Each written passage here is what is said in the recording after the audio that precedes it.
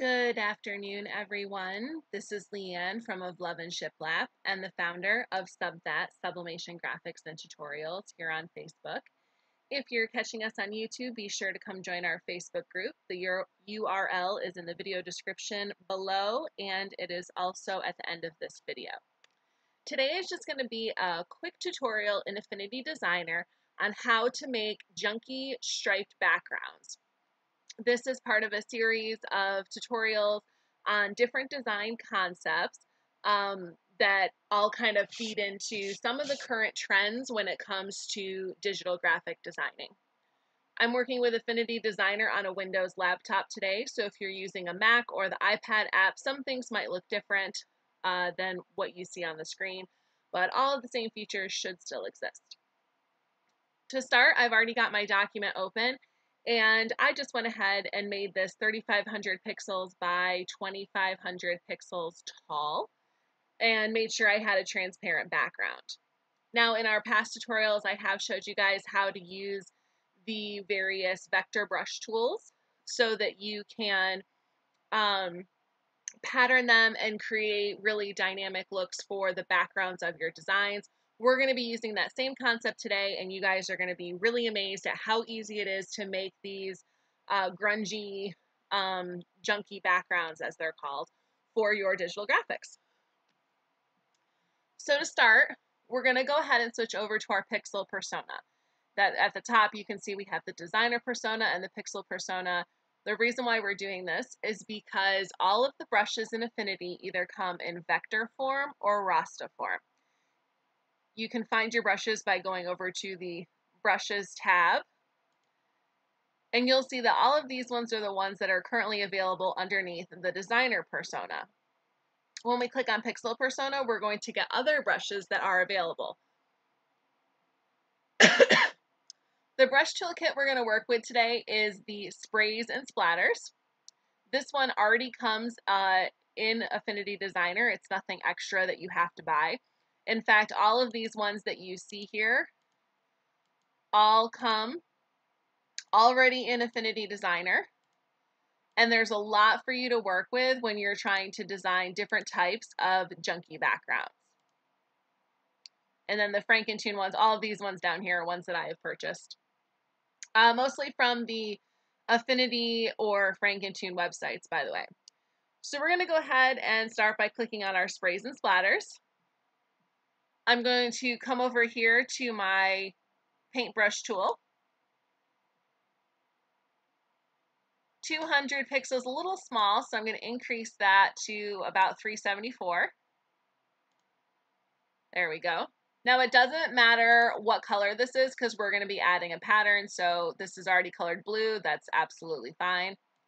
We'll go back over to our brushes panel and we're going to select one of these that we think will work best. Let's see. I think I'm going to go with this large spray brush. I have to adjust my brush size again. All right, and we're just going to click and drag.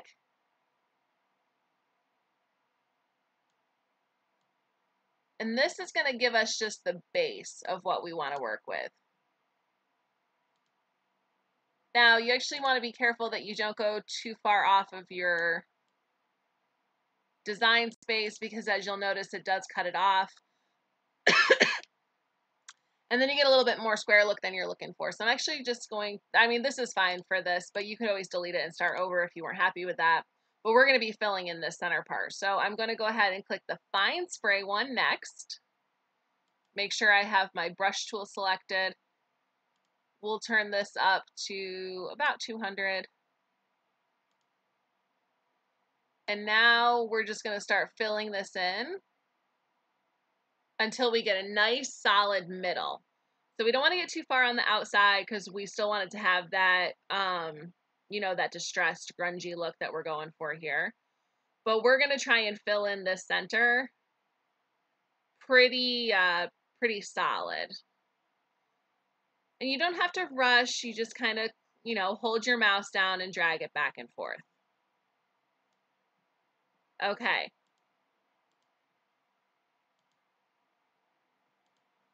So we've now created two that are, we're going to merge them into one. So we're going to go ahead and right click them and group. And then we're going to right click again and we're going to rasterize it. And now this created one solid pixel layer. Now, of course, we want more than one of these. If you wanted to do um, just the same style for each one, you could just right click and duplicate. But we want each, each uh, layer of what we're going to create today to be a little bit different. I am going to want this to be a little bit longer and skinnier, so I'm just going to modify that a little bit. Now we're going to click on this little checkerboard um, looking icon down here. When you hover over it, it says add pixel layer because we want to make sure this is a new layer, not part of our old layer. And we'll just pick another brush. This ink splatter one looks kind of fun. Click on our brush tool. We're going to change the color of this one so it'll be easy for us to see. We'll just go with red. And we will go ahead and increase our brush size again.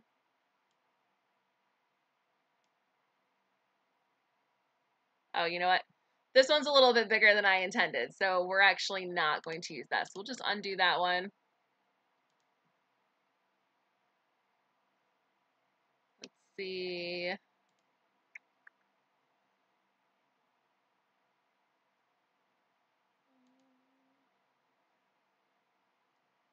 You can see how this brush looks. Sometimes you just play around with the different ones that come in Affinity and you find the ones that provide the texture that you are looking for.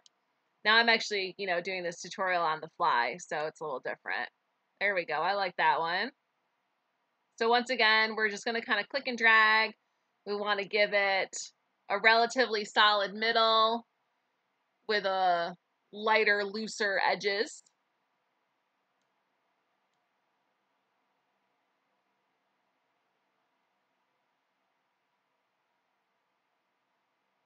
All right, that's pretty good.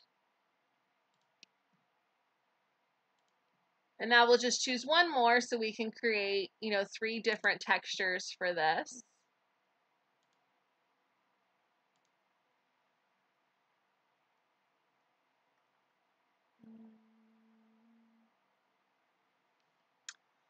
Thought I had some grungy brushes.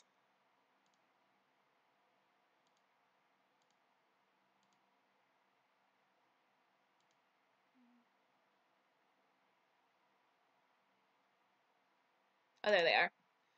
Again, all of these one, all of the brushes you see here, the pencils and charcoal, chalks and pastels, pens, markers, inks, oils and acrylics, gouaches, sprays and splatters, grunge, watercolors, effects, and basics. These are all part of Affinity already, so you don't have to purchase them. So I'm just going to choose just, again, one more texture. I generally like Grunge 9, I believe. So make sure our brush tool is selected. We select our Grunge 9. We're going to give this one a different color yet again, just so we can see the differences of them on our canvas. And just going to follow the same steps that we've been following, which is just click, drag, create a solid fill through the center and make sure it's loose on the edge. I'm going to go ahead and actually increase the brush size on this and maybe not that big. And just uh, add a little bit more loose splatter around the edges. You can see it's kind of filling out nicely around those edges where it looks a little less solid. All right. Now we've got our three different pixel layers, which we can now pattern using digital paper, or you can use different colors. Um, it's really kind of up to you. So we're going to switch back over to the designer persona by clicking that designer icon in the top. And I'm going to go ahead and choose some digital paper. So I've got the Serape Mexican digital paper file folder open. And I think that'll be a good one to play around with today. So we'll go ahead and click and drag. That'll allow you to customize the size. This paper is supposed to be seamless. Hopefully it is. There we go. So I'm just layering it, layering it over the top so we can make sure that everything is lined up. And we're just going to try and, this is not a very good digital paper. A good digital paper will appear seamless. As you can see, this one does not. So sometimes when that happens, you just kind of have to play around with it.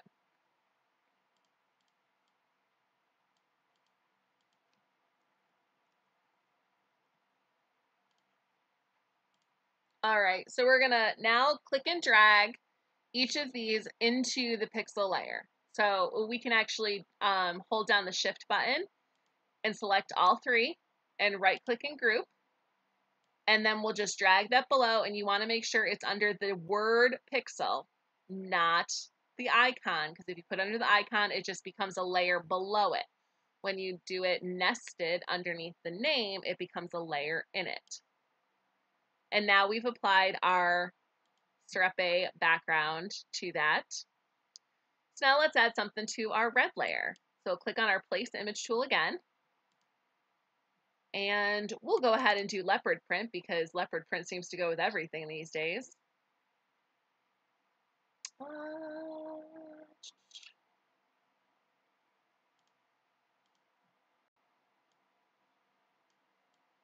now the Serape one I used wasn't the best choice because it doesn't have a good um, a good seamless background, but this one should. Maybe. I feel like uh, some of these digital designers didn't do a very good job creating their seamless backgrounds. That one's close.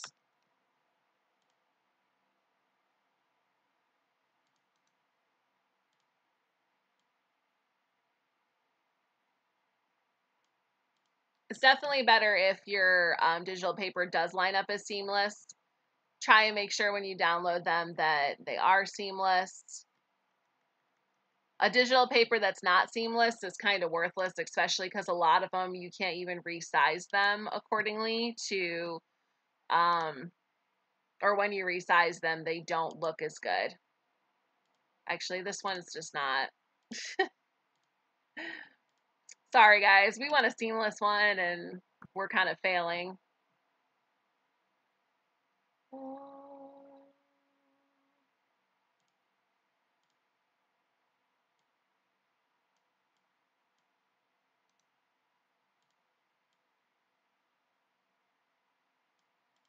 There we go. That one is seamless. So we will select both of them and just kind of shrink them down a little bit. I was going to say so we could add another one on the end, but I guess that's not necessary. So we'll right click while we have both selected again. And you can do that just by holding down the control button and clicking on each one, each uh, um, layer that you would like. You're going to select group. And then once again, we're just going to drag it underneath where it says the name, not below it, underneath the name of that element. And now we've applied the uh, cheetah or leopard print to our second pixel layer. And now we'll just pick one more for our last layer.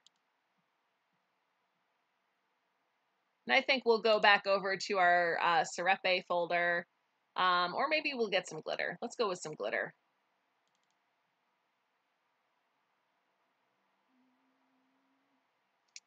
I don't know, guys. What kind of glitter are we feeling? Maybe some orange.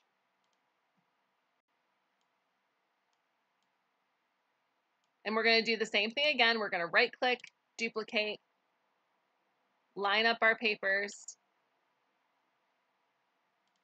We'll just go ahead and make these a little bit bigger so that they cover that without us needing a third one.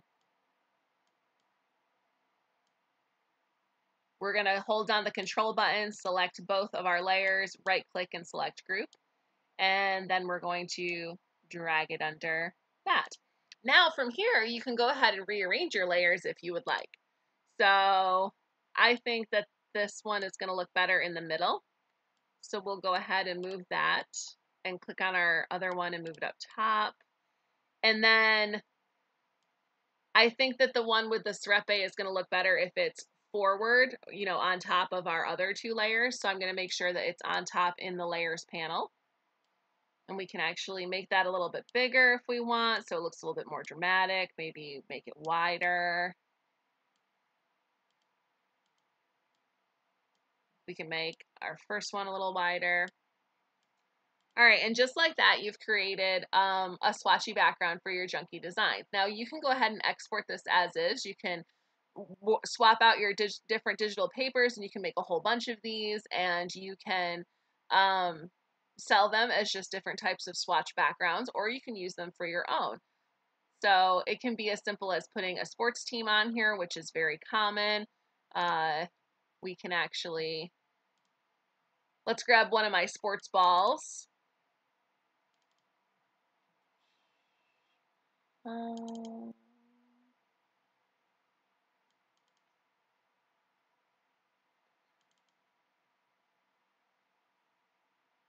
I guess it's football season, so we'll go with my football one that I have on my website.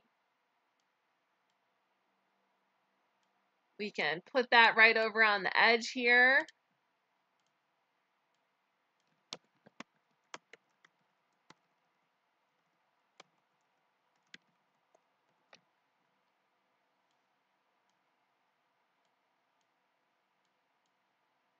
We'll add a little text. Can actually make that two lines, I think will work. And maybe make this football a little bigger. And we'll tilt it a little bit more.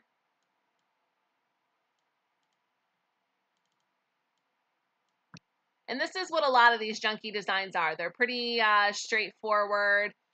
Um, and you're once you get that background the possibilities are endless as to what you can do with different design elements.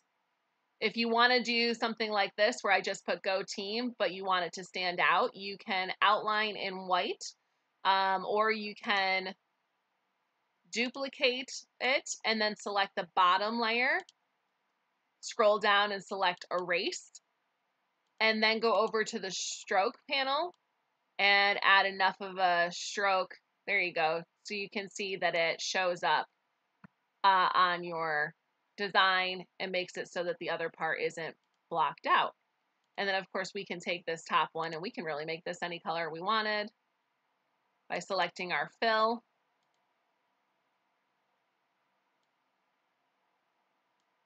So if you've got, you know, your sports team's colors, you can change that around.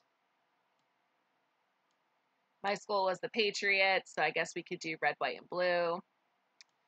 But you get the idea. And just like that, we have created a design. Um, and, you know, with these swatchy striped backgrounds, you can really do anything that your heart desires. There are so many different variations. You can put them vertical instead of horizontal. Um, but like I said, it's very straightforward. You don't need any special tools. The brushes that you want to use already come in Affinity Designer underneath the Pixel Persona. And yeah, that's about it. All you really need other than that is some digital paper. So these are very trendy. You can sell the swatch backgrounds as uh, a single design element for people to use, or you can use them for your own designs. And the possibilities are truly endless. I hope this was helpful for you guys. I know this was a quick tutorial, but uh, after uh, one of our posts yesterday, I wanted to cover this before we do how to put together uh, junky sports team designs uh, that using the marquee letters will be our next tutorial. I hope you guys have a great rest of your day. Thank you.